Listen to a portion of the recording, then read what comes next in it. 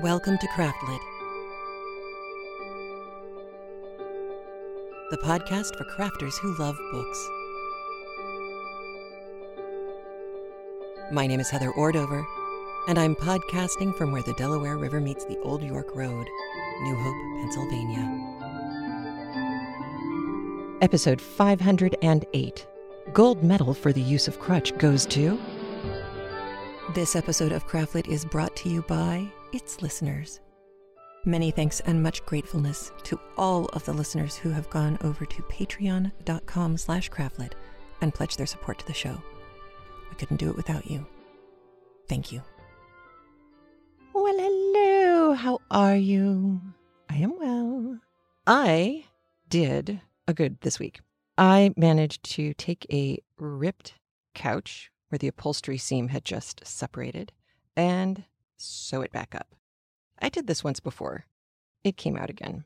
This time I used some really heavy duty thread and tied the tightest tying that I could at the ends of the thread.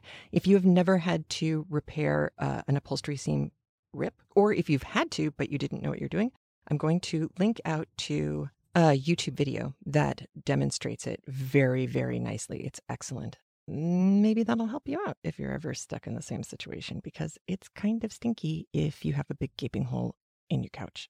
And aside from that, this last week, maybe a week and a half, I have been spending my train trip into work by working on the sequel to Grounded. I have rewritten this book so many times, it is just not even funny. But I think I've got it now.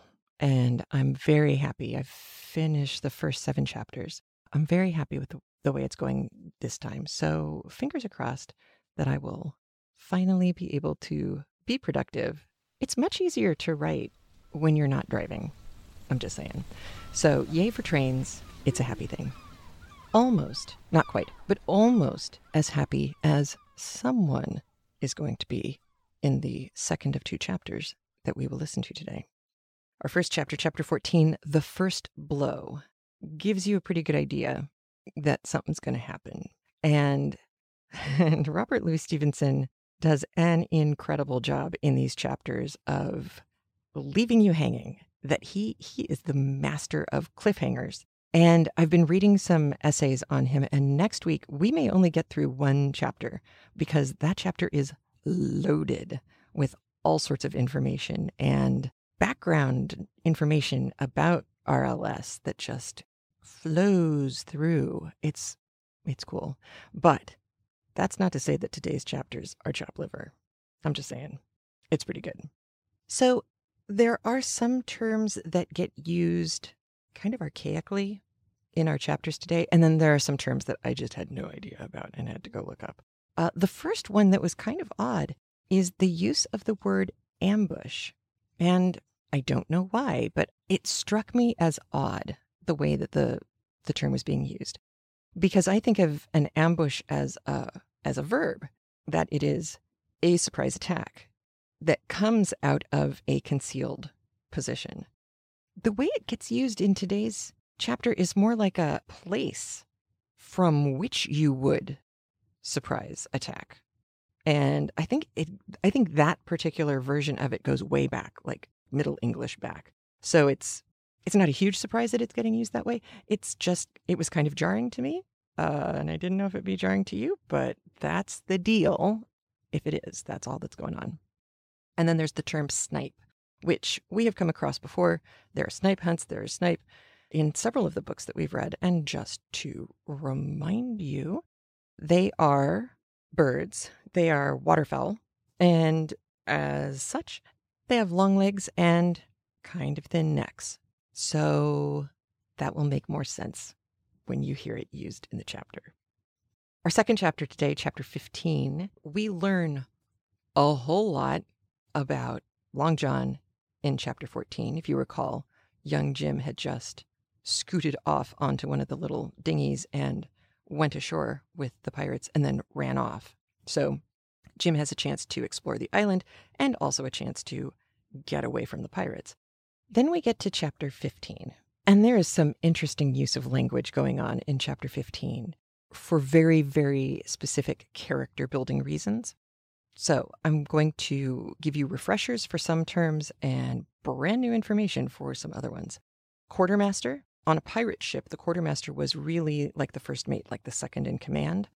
The quartermaster also did things like being in charge of the supplies, the, the food, the rations, the payouts. So if you go and you pirate away and you get a lot of loot, the quartermaster was the one who was trusted to divvy up the loot appropriately. So, quartermaster, kind of an important job on a pirate ship. Before the mast, we've heard this several times so far. That's just a, a common sailor. That's just your everyday sailor who is um, not becoming or has not crossed that line and become an officer like a quartermaster. Masthead. The masthead, as you may recall, is the very top of the tallest mast on a ship. Why does that matter? Because in this chapter, mastheaded gets used as a verb. If you masthead somebody, you tell them, usually as a punishment, to go up to the top of that mast. So you're mastheading them. So that's just punishing something or, or keeping someone away from everybody else by sending them up somewhere very high. You will hear a phrase loops of tarry gaskin. You may recall that we had tarry pigtails earlier because that's a great way to stop your hair from coming out of its braid. it's a great way to stop it from coming out of its braid forever. A gaskin was kind of like the, you've probably seen them in old paintings and pictures. They're kind of like a gaiter that goes over that stretch between where your shoe would end. So it goes over the top of your shoe and up your leg so that the the gap between your breeches and your shoe would be covered. This is especially useful if you don't have boots. So, tarry gaskin would be a, a gaiter that you had put tar onto to make it waterproof-ish or at least watertight. Certainly if you this is the problem we've talked about before with oilcloth, if you sew through the tarry part after the tar has been applied, you're putting a hole into the tarry part, and that would give water a point of ingress to get you wet. So, not sure how this tarry gaskin was constructed, but at least it gives you an idea. Saying something is going to be a certain amount of weight by the stone. This is, you may have heard, folks in the UK who not just have access to the metric system in their brains, but also have access to a different weight system where a stone is about 14 pounds. So if you get a stone of something, you're getting about 14 pounds of something. So that's kind of cool. Chucking farthings, chuck farthings, or penny pitching, pitching pennies. These are gambling games that still get played, to be completely honest. But the whole idea is that you have a some kind of a backstop, whether it's a wall, a low wall that you could sit on, or the wall, the external wall of a building whatever, as long as it's tall enough that you could toss coins at it, farthings or pennies. And the goal is to get your coin closest to that particular barrier. So if it's a, a, sitting wall, you are trying to get your penny to drop closest to the sitting wall. Whoever does gets all the coins. So you're going to hear a reference to chuck farthings and using a very interesting location as the backstop upon which to pitch the coins. Clove hitch. We will talk a little bit more about the clove hitch afterwards, but before we get to that point, just a reminder for anybody who isn't into tying knots, and and I know plenty of people are into tying knots. So if you are not among them, the lucky few, a clove hitch is a very specific kind of hitching knot you may have heard in Wild West movies or stories about hitching posts. This is because you have the horse, you have a harness on the horse of some sort, a bridle or a rope harness, and you have a post that you can hitch your horse to. Any kind of a knot that ties a rope or long, thin substance to a pole of some sort is going to be a hitch. There are several different kinds of hitch knots. Now, there are other knots that are used for tying two ropes together or, or bringing two things together and that knot is the the join. Clove hitch is not that kind of knot. It has to go around something. So the pole is in the clove hitch. Just keep that in mind. The pole is the thing that's in the clove hitch. I also linked out to a video on how to tie a clove hitch knot, just in case you were interested in learning how to tie one. It's kind of it's kind of an interesting knot when you see it tied. Past tense is already done. You kind of look at it and go, "Well, yeah, what's so special about that?" But as you watch it being created, it's kind of cool. So I think that's all of the kind of odd language that you are going to need as we move into these two very exciting chapters. And the the end of chapter 15 is the end of a section. So the next section will begin next week. But first, here we go with chapters 14 and 15 of Treasure Island by Robert Louis Stevenson. Here we go.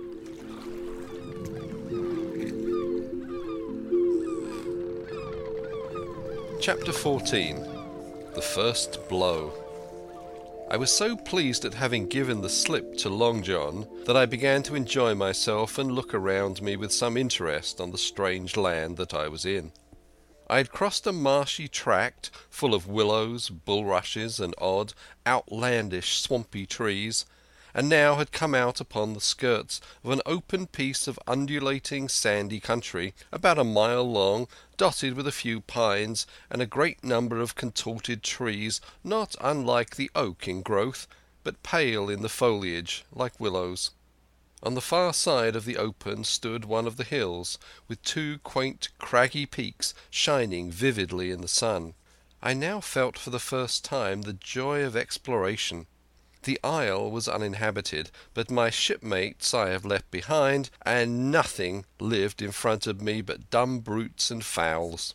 I turned hither and thither among the trees. Here and there were flowering plants unknown to me. Here and there I saw snakes, and one raised his head from a ledge of rock and hissed at me with a noise not unlike the spinning of a top. Little did I suppose that he was a deadly enemy, and the noise was the famous rattle. Then I came to a long thicket of these oak-like trees, live or evergreen oaks I heard afterward they should be called, which grew low along the sand like brambles, the boughs curiously twisted, the foliage compact like thatch. The thicket stretched down from the top of one of the sandy knolls, spreading and growing taller as it went, until it reached the margin of the broad reedy fen through which the nearest of the little rivers soaked its way into the anchorage. The marsh was streaming in the strong sun, and the outline of the spyglass trembled through the haze. All at once there began to go a sort of bustle among the bulrushes. A wild duck flew up with a quack, another followed, and soon over the whole surface of the marsh a great cloud of birds hung screaming and circling in the air. I judged at once that some of my shipmates must be drawing near along the borders of the fen. Nor was I deceived, for soon I heard the very distant and low tones of a human voice, which, as I continued to give ear, grew steadily louder and nearer. This put me in great fear, and I crawled under cover of the nearest live oak, and squatted there hearkening, as silent as a mouse. Another voice answered, and then the first voice, which I now recognized to be Silver's, once more took up the story and ran on for a long while in a stream, only now and again interrupted by the other. By the sound they must have been talking earnestly and almost fiercely, but no distinct word came to my hearing.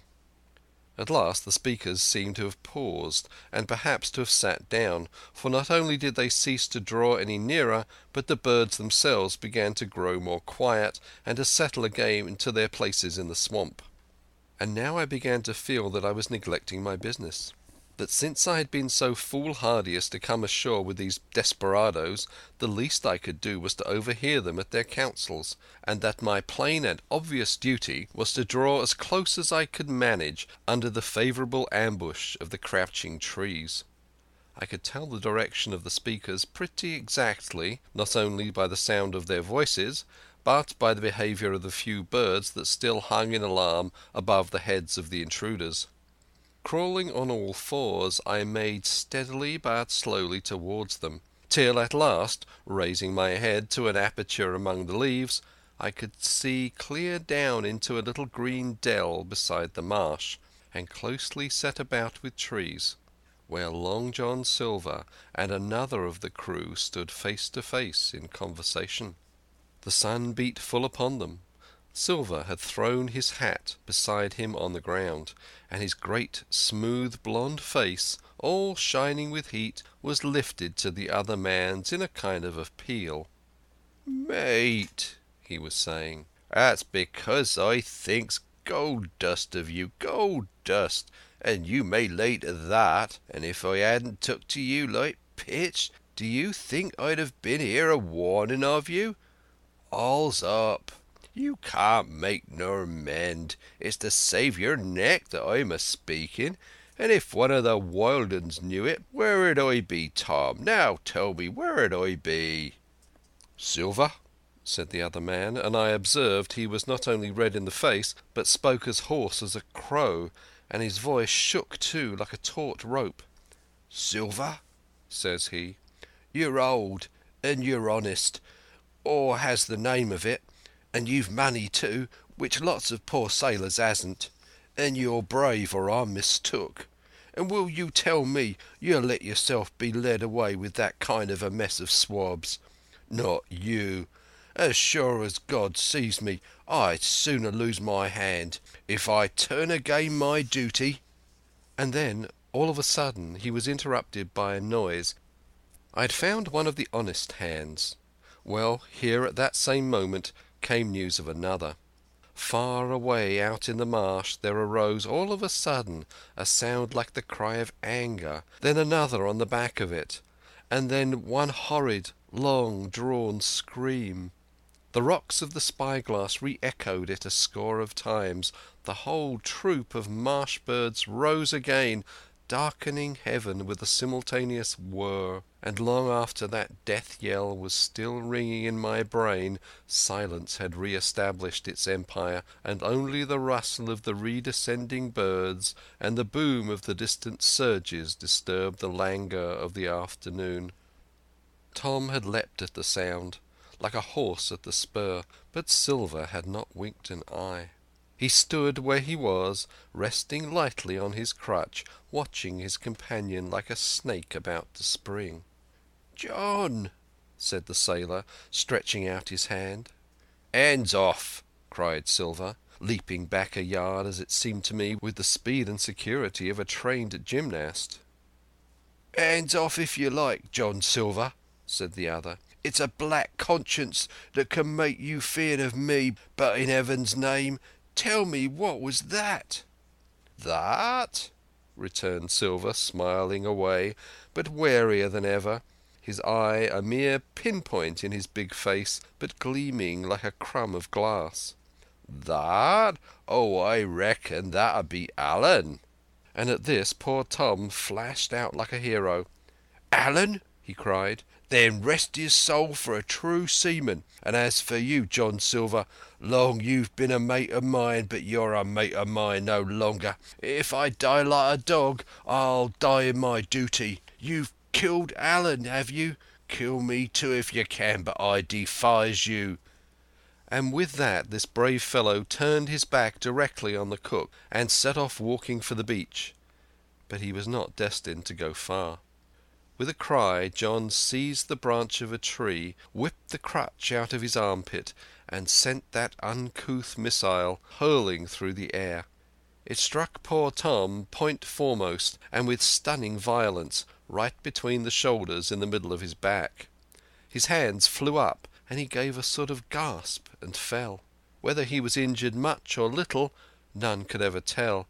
Like enough, to judge from the sound, his back was broken on the spot but he had no time given him to recover. Silver, agile as a monkey, even without leg or crutch, was on the top of him next moment, and had twice buried his knife up to the hilt in that defenceless body. From my place of ambush I could hear him pant aloud as he struck the blows. I do not know what it rightly is to faint, but I do know that for the next little while the whole world swam away from before me in a whirling mist. Silver and the birds and the tall spyglass hilltop going round and round and topsy turvy before my eyes, and all manner of bells ringing and distant voices shouting in my ear. When I came again to myself the monster had pulled himself together, his crutch under his arm, his hat upon his head. Just before him Tom lay motionless upon the sward, but the murderer minded him not a whit, cleansing his blood-stained knife the while upon a wisp of grass. Everything else was unchanged, the sun still shining mercilessly upon the steaming marsh, and the tall pinnacle of the mountain, and I could scarcely persuade myself that the murder had actually been done, and a human life cruelly cut short a moment since before my eyes. And now John put his hand into his pocket, brought out a whistle, and blew upon it several modulated blasts that rang far across the heated air. I could not tell, of course, the meaning of the signal, but it instantly awoke my fears. More men would be coming. I might be discovered. They had already slain two of the honest people. After Tom and Alan, might not I come next? Instantly I began to extricate myself and crawl back again, with what speed and silence I could manage, to the more open portion of the wood. And as I did so I could hear hails coming and going between the old buccaneer and his comrades, and this sound of danger lent me wings.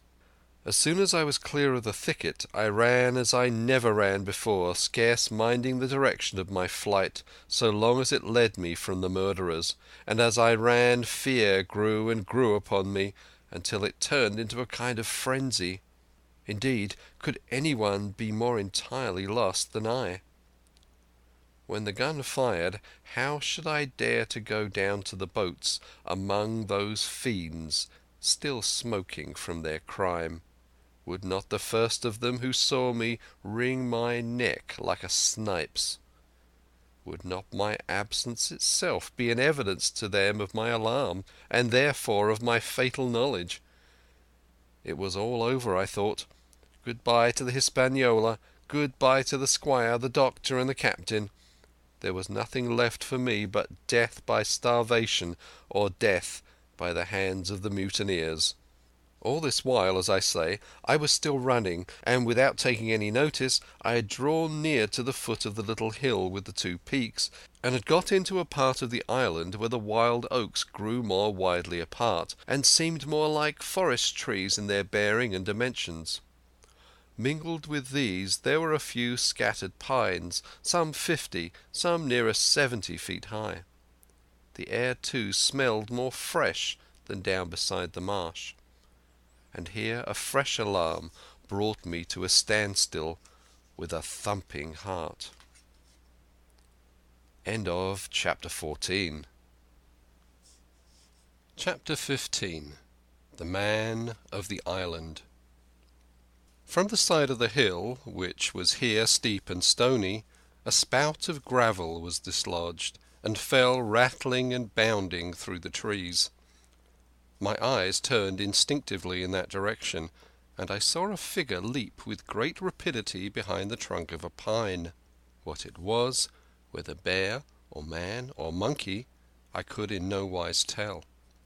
It seemed dark and shaggy, more I knew not, but the terror of this new apparition brought me to a stand. I was now, it seemed, cut off upon both sides, behind me the murderers, before me this lurking nondescript, and immediately I began to prefer the dangers that I knew to those I knew not.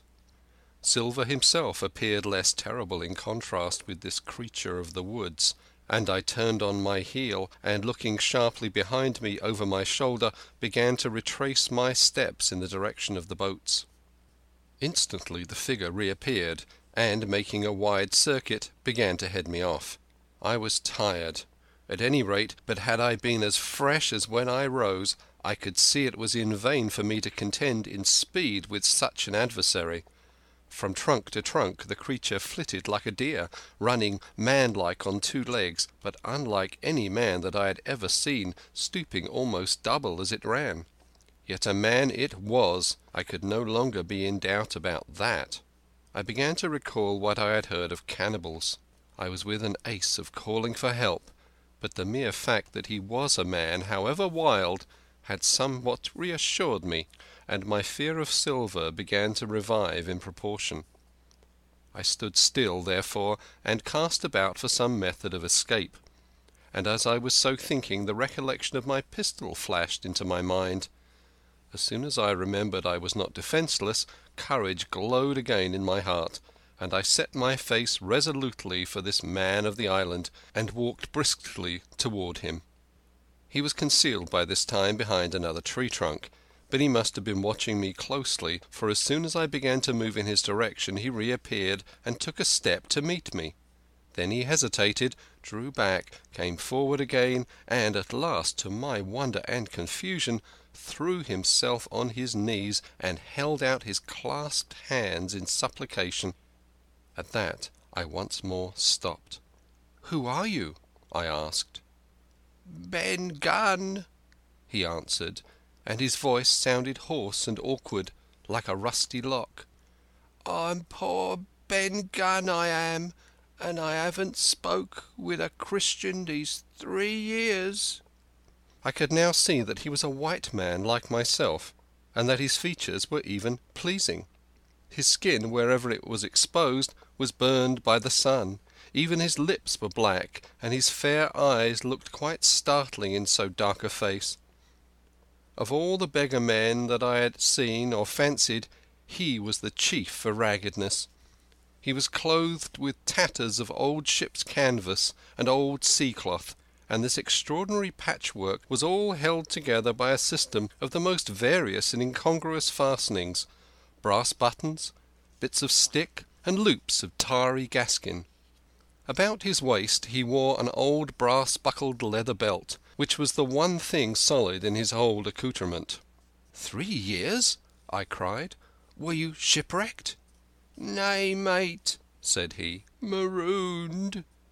I had heard that word, and I knew it stood for a horrible kind of punishment common enough among the buccaneers, in which the offender is put ashore with a little powder and shot, and left behind on some desolate and distant island. "Marooned three years agone," he continued, "and lived on goats since then, and berries and oysters. Wherever a man is, says I, a man can do for himself. But, mate, my heart is sore for Christian diet. You mayn't happen to have a piece of cheese about you now? No? Well, many's the long night I have dreamed of cheese, toasted mostly, and woke up again, and here I were." "If ever I can get aboard again," said I, "you shall have cheese by the stone." At this time he had been feeling the stuff of my jacket, smoothing my hands, looking at my boots, and generally in the intervals of his speech showing a childish pleasure in the presence of a fellow creature but at my last words he perked up into a kind of startled slyness.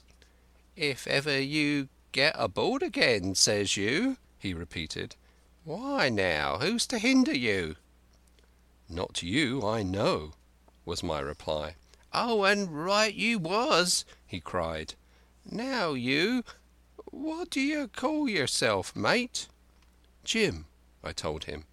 "Jim, Jim," says he quite pleased apparently. "Well now, Jim, I've lived that rough as you'd be ashamed to hear of. Now, for instance, you wouldn't think I had had a pious mother to look at me?" he asked. "Why, uh, no, not in particular," I answered. "Ah, well," said he, "but I had, remarkably pious, and I was a civil pious boy and could rattle off my catechism that fast you couldn't tell one word from another. And here's what it come to, Jim, and it begun with chuck farthing on the blessed gravestones. That's what it begun with. and it went farther than that, and so my mother told me and predicted the whole, she did, the pious woman. But it were a Providence that put me here. I've thought it all out in this here lonely island, and I'm back on piety. You can't catch me tasting rum so much, but just a thimbleful for luck, of course, the first chance I have. I'm bound I'll be good, and I see the way to. And Jim," looking all round him and lowering his voice to a whisper, "I'm rich." I now felt sure that the poor fellow had gone crazy in his solitude, and I suppose I must have shown the feeling in my face, for he repeated the statement hotly.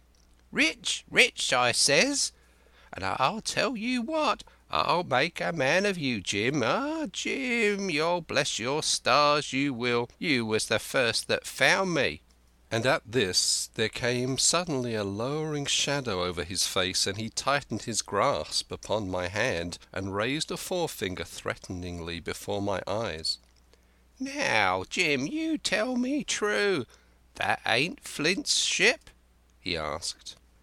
At this I had a happy inspiration. I began to believe that I had found an ally, and I answered him at once. "It's not Flint's ship, and Flint is dead. But I'll tell you true, but I'll tell you true, as you ask me. There are some of Flint's hands aboard, worse luck for the rest of us." "Not a man with one leg?" he gasped. "Silver?" I asked. "Ah, Silver!" says he. That were his name." "He's the cook, and the ringleader too." He was still holding me by the wrist, and at that he gave it quite a wring. "If you was sent by Long John," he said, "I'm as good as pork, and I know it. But where was you, do you suppose?" I had made up my mind in a moment, and by way of answer told him the whole story of our voyage and the predicament in which we found ourselves.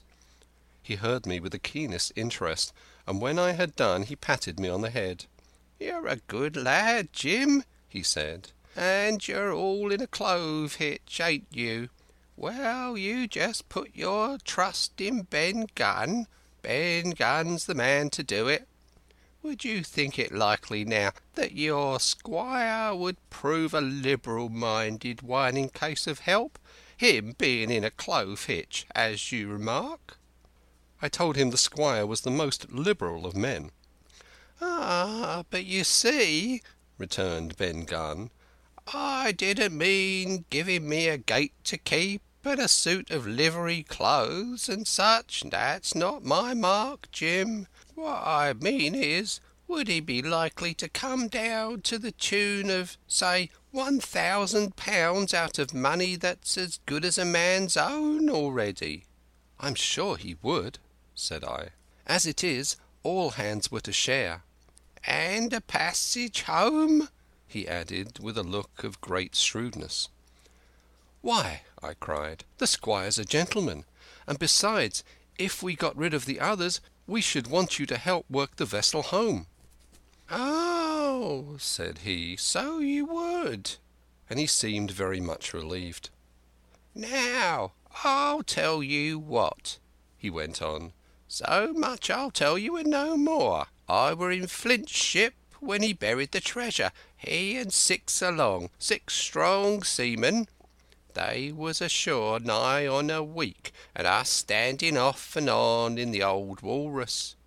One fine day up went the signal, and here come Flint by himself in a little boat, and his head done up in a blue scarf.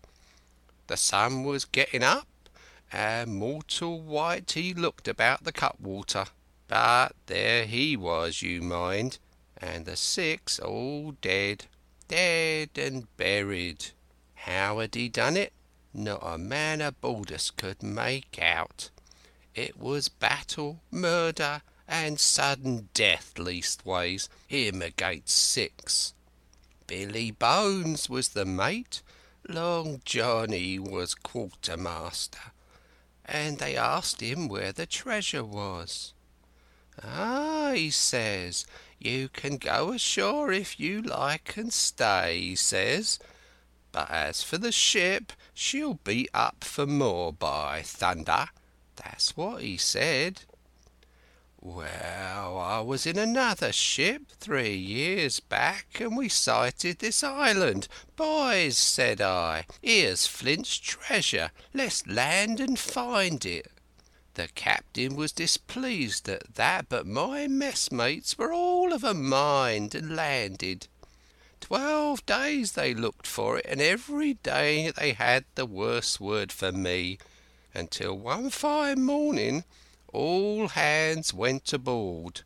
As for you, Benjamin Gunn, says they, here's a musket, they says, and a spade and a pickaxe. You can stay here and find Flint's money for yourself, they says.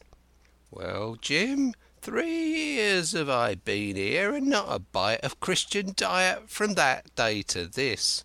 But now you look here, look at me, do I look like a man before the mast?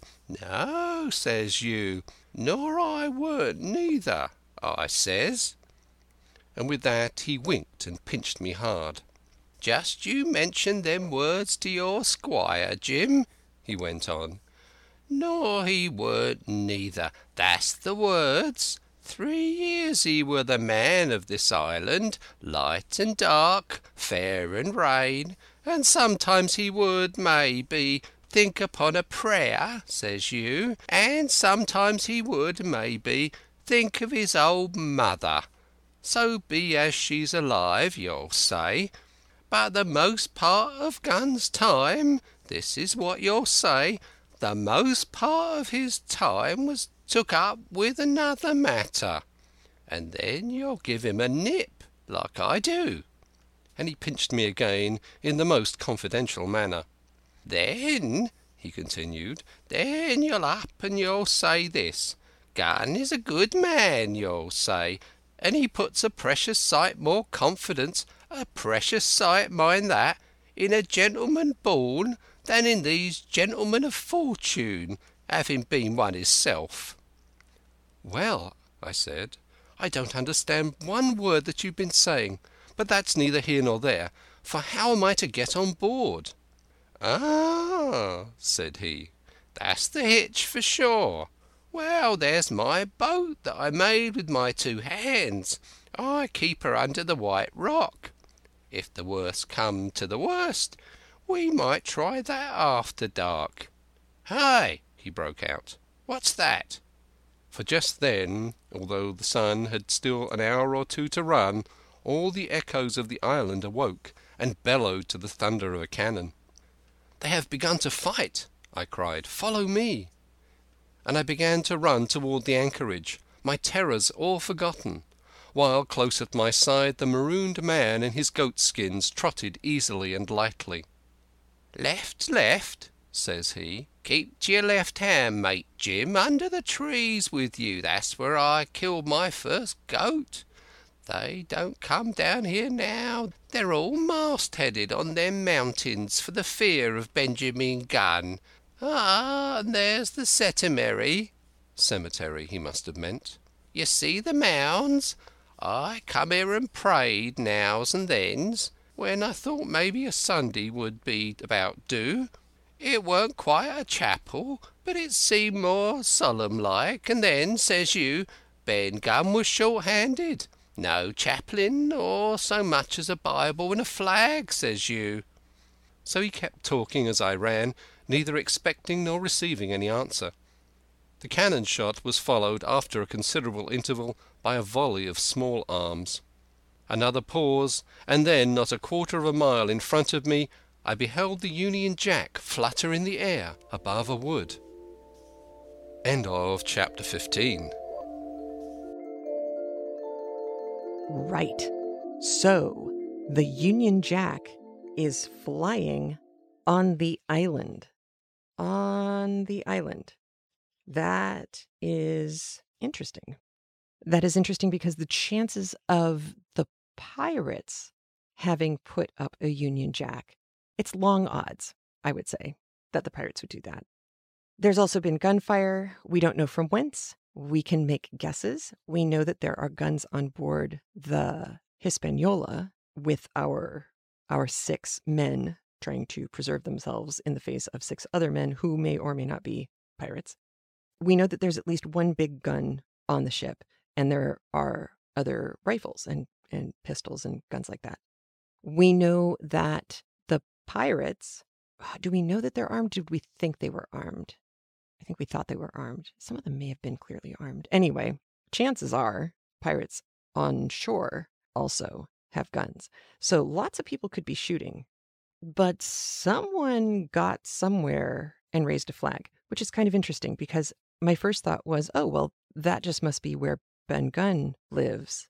But no, because number one, he wouldn't have a Union Jack that was in any shape, to, maybe even to be able to recognize it as a British flag. Uh, but also, he was a pirate too. His ship, the Walrus, was not the ship he was on with Flint. He and Long John and Flint were in a previous voyage. Several years later, Ben Gunn wound up on a ship, the Walrus. He'd been telling everybody about Flint's treasure. They stayed 12 days to look for the treasure, and then they marooned him for not being able to find the treasure, which I think is kind of stinky on their part. Not that I give pirates a whole lot of credit generally for sound thinking, although the more I learn about piracy at this time, the m- more it starts to make sense why some people were doing that. Yeah, so it's interesting and no longer surprises me that some very bright people like Long John are involved in piracy. Speaking of Long John, let's go back to chapter 14. Holy cow! So now you understand the name of this episode because that is an extraordinary shot.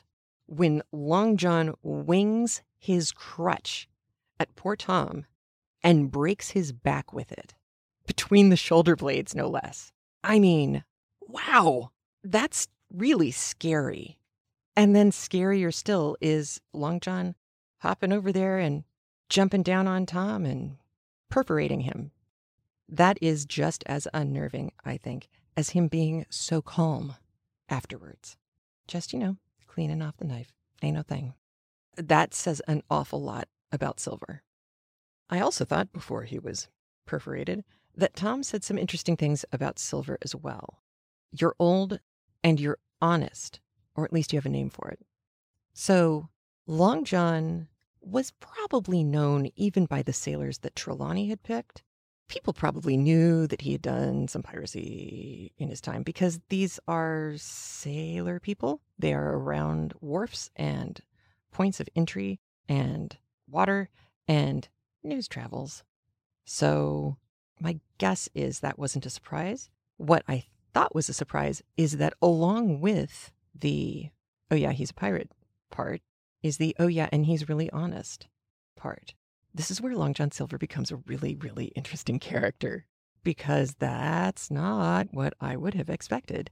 But again, he was quartermaster with Flint, which means Flint trusted him to divvy up the loot, as well as pay the men fairly and honestly, and procure supplies, and run the whole place, and take over the ship if Flint, for whatever reason, was incapacitated and couldn't run the ship anymore. Long John, mm, he is fun to look at because he keeps you keep learning more and more about this guy. So there's that part. There's poor Tom and his further explanation or or uh, plea with Silver of you're old, you're honest, the guys look up to you. You have money, and a lot of poor sailors don't. So part of Tom's argument seems to be why are you doing this crazy, ridiculous thing? It makes sense for these young guys who've got nothing to do it, but why would you risk everything going up against Smollett and Livesey and, oh, I don't know, the law in order to chase a treasure which you would have gotten a part of anyway. So, what's the dealio? So, poor Alan, poor Tom, poor Jim, who had to witness that, which really stinks, and then goes charging off into the fort. Well, he doesn't go charging off because that would be stupid. He backs out of there as quickly as he can. And then, when he's far enough away not to make a huge amount of noise, then he runs into Ben Gunn. One of the more interesting characters, just in general, because there's there's a lot about him that seems to be drawing on kind of Robinson Crusoe tropes, things like that. But he's also pretty unique and very specific about things. We know what he's been eating. We know the food that he wants more than anything some toasted cheese. We understand how he is clothed. We understand that he has made his own boat, which I imagine is more like a canoe or raft kind of thing. But still, that's pretty impressive. It also means there haven't been any ships coming close enough to the island in these last three years for him to scoot out on that thing and try and flag them down. So he has been really alone. And you can tell that he has been talking to himself for a while because when they're running and he is not out of breath and he is just blathering on between directions left, left, keep to your left hand, mate, or blathering on about the goats being mastheaded up on the sh- on the the spyglass because they're afraid to come down from the quote unquote top of the mast because he's down there and he's going to eat them. The cemetery instead of cemetery. Pointing it out seems to be his way of really proving to young Jim that he has regained his pious ways. His mother would be proud of him because he has no church, he has no priest, he has nowhere to go to show his religious turn. So instead, he goes to the graveyard and prays among the dead, which I actually think is really, really beautiful. But then I also started to get kind of creeped out because who are they? I don't think they're the goat bodies. So were these guys who'd been killed by Flint and left on the island? And he found what was left of them, and, you know, for years later, what was left of them, and buried them? Or people who washed up on shore. I have no idea. Maybe we'll find out. But for now, it's his way of saying, see, I, I am part of society again. I, I can be a good guy. I'm worth bringing back with you, as if the promise of treasure wasn't enough. I also thought his his running monologue to Jim of how is Squire Trelawney going to deal with me? Is he going to be fair? Is he is he going to understand that I'm worth the risk, that I am not a threat, that I understand the error of my ways, and I'm going to do everything I can to prove that to him. And Jim's judgment of character on this one, as opposed to Long John, seems to be pretty good. Once he knew that there was a chance that Ben Gunn was not a friend of Long John Silver, uh, I think Jim went into the an enemy of my enemy is my friend thing. And uh, and so far, Ben Gunn's been helpful. He's getting Jim out of a mess load of trouble and presumably down to his little boat so they can beat it out of there. But for now, we've been stopped by the Union Jack, which is, which is an interesting way to get stopped. So for me, take care. Have a great one. I'll talk to you soon. Bye. If you like what you heard, please leave us a review at iTunes or like us on Facebook or follow us on Twitter or any one of a million different places that Craftlit wound up over the last 13 years. For more information on Craftlit, you can visit craftlit.com and subscribe via your favorite podcast app or download the Craftlit app so you can get all of your episodes right there in your hand, all in one place without having to hassle with anything else.